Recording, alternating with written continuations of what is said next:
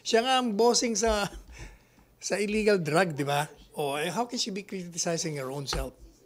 Siya nga ang on top of the situation. So, If she's now the drug czar, then she can do what she wants.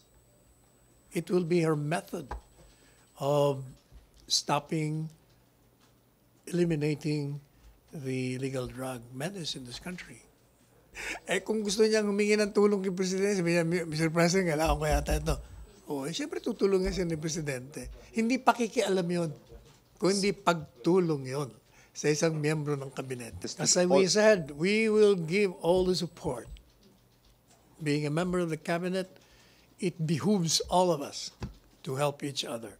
Because her success is the success of the cabinet as well as this administration and ultimately the Filipino people.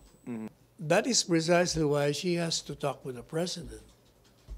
The next step is for her to see the president so that she can iron out whatever ideas she has, whatever thing she would want the president to give her relative to her position. So they have to discuss.